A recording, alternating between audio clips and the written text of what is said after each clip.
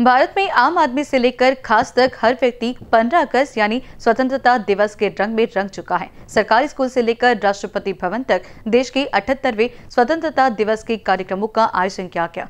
पंद्रह अगस्त यानी आज़ादी को घर से लेकर स्कूल, कॉलेज, निजी सरकारी कार्यालय, शिक्षण संस्थान, अस्पताल हर जगह झंडा फहराकर मनाया जाता है, जिसके बाद सांस्कृतिक कार्यक्रम होते हैं, जिसमें सभी लोग बढ़ चढ़कर भाग लेते हैं। हमारे देश के प्रधानमंत्री नरेंद्र मोदी ने भी लाल किले से ग्यारहवीं बार झंडा फहराया है।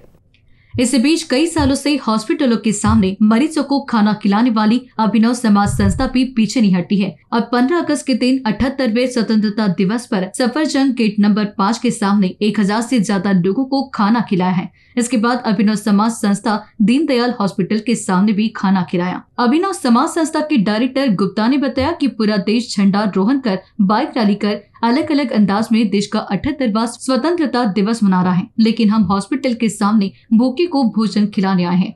हम चाहते हैं कि हॉस्पिटल के सामने मरीज़ या मरीज़ के परिवार वाले भूखे न रहें। हमारा मकसद हर भूखे को भोजन खिलाना है। इन न्यूज़ के लिए नई दिल्ली से ब्रजेश कुमार की report.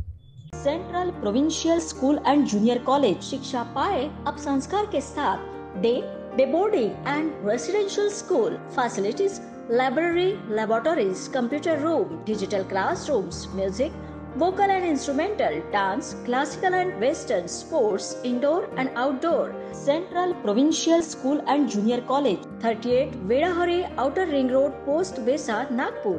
Our branches at Rameshwari and Vedahari.